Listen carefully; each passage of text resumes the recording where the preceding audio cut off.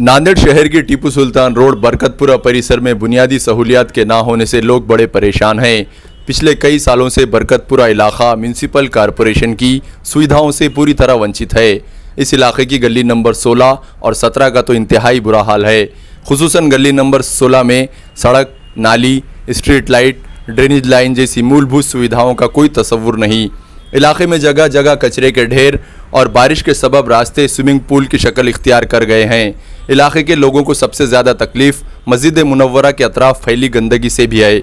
मस्जिद की सिम जाने वाले तमाम रास्तों पर गंदा पानी जमा होने से नमाज़ अदा करने वाले मुसलियान को अपना दामन बचाकर मस्जिद तक पहुँचना नामुमकिन सा है। इलाके के लोग इस परेशानियों से सख्त नाराज़ हैं और इस मसले के लिए वो इलाके के कारपोरेटर्स को कसूरवार बता रहे हैं। निकलिस रोड पर जो मस्जिद है, वो मस्जिद को आने के लिए तकरीबन डेढ़ फीट पानी जम गया। अंदर दाखिल नहीं हो सक रहे मस्जिद में। हम यहाँ खड़े हुए हैं मस्जिद के गेट के सामने। ना बाहर जा सकते ना अंदर आ सकते। इधर से मशरक़ की तरफ़ से भी वैसा ही है और मगरिब की तरफ़ से भी वही हाल है। ये स्कूल के सामने। कपड़े बचा के कपड़े बचा के ऊपर कितने भी उठाएँगे कपड़े आप तो आपके कपड़े भीगेंगे। और पैर भी और गंदगी है उसमें। चारों तरफ़ के प्लाट की गंदगी वो पानी में है। तक के बोलना, ग्यारह साल हो गए मेरे को यहाँ आके, ग्यारह साल से मैं ये देख रही तकलीफ़ बहुत है। घरों के सामने कचरे है, बीमारियाँ उसकी वजह से आ रहे दवाखानों में जाना पड़ रहा, सब कर रहा ये सड़का नहीं है, कुछ भी नहीं है, परसों के दिन खड्डे बना के गए, नालियाँ बना के गए जरे जरे नालियाँ बनाए कुछ भी नहीं हुआ, कोई फ़र्क नहीं पड़ा। पूरा भर के वैसे चले गया।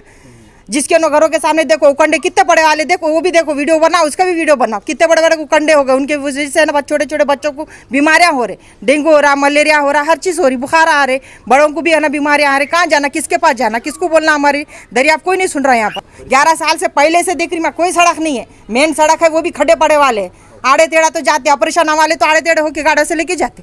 वो रोड पे लेके जाके छोड़ देते, वहाँ से आते तो आते आते गिर जाते। किसके पास जाना बताओ देखते, बस इलेक्शन आए, बना के देते, सब करते। कोई सुविधा नहीं, कोई ना, हमारे कोई ना, हमदर्दी नहीं, कुछ नहीं क्या?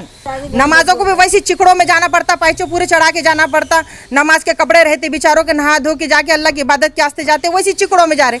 मगर कब सुनना, कौन नहीं सुनना हमारा, बताओ? क्या अच्छे ना? वो क्वालिटी वाले लोग उधर के ना उधर। आप देखो ये, अपने ब्रिज के उधर आगे महबूब नगर में, वहाँ पर इतना एरिया ना सलम एरिया है वहाँ पर, रह के वहाँ पर सड़कें हैं बड़े बड़े नालियाँ बन गए डेनिस लाइन बन गया। यहाँ इतना अच्छा रह के यहाँ पर नहीं, क्यों मुस्लिम एरिया है बोल के नहीं बना रही क्या? मुझे तो यही लगता फिर, यहाँ पर जातवादी का मामला हो गया फिर। वहाँ पर अच्छे, कम है ना, बस्ती वाले लोग हैं, कम इस्ती वाले लोग हैं तो उनको वहाँ पर अच्छी क्वालिटी का दिया। हर चीज़ मुहैया है वहाँ पर। यहाँ अच्छे लोग रहने के बाद भी बड़े बड़े बिल्डिंग रह के यहाँ पर कोई मुहैया नहीं एक ही परेशानी। है ऐसे हाँ ये जो बनाए थोड़ा बहुत ये रोड हमने काउंट्रीब्यूशन करके बनाए।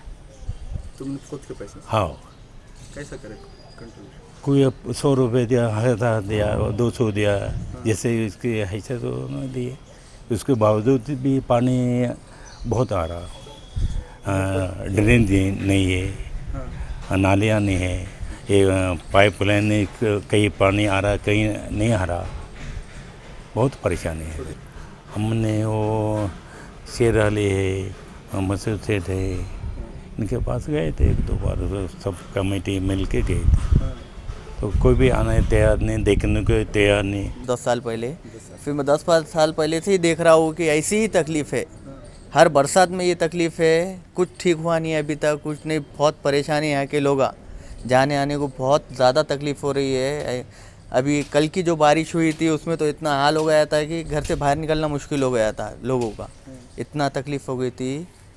क्या बोलेंगे अब?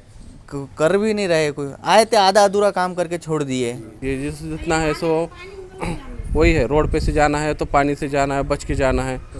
कपड़े ख़राब होते हैं। फिर वो जैसे बहुत प्रॉब्लम होती है यहाँ पे जाने के वास्ते। और उसके साथ साथ पानी जो से कि नहीं बारिश का खड्डे रहने की वजह से पानी जमता है। मच्छर इतने हैं मच्छर। और हर दो महीने चार महीने में बच्चों की तो बच्चों की तबीयत भी ख़राब होती है इसके अंदर। कचरे वाले कचरों के वाले के तो मैं अभी तक जब आया अभी तक तो कभी देखा नहीं कि कचरे वाले आए साफ़ सफ़ाई करे नाली साफ़ करे गए ऐसा कुछ ही नहीं हुआ यहाँ पे तो।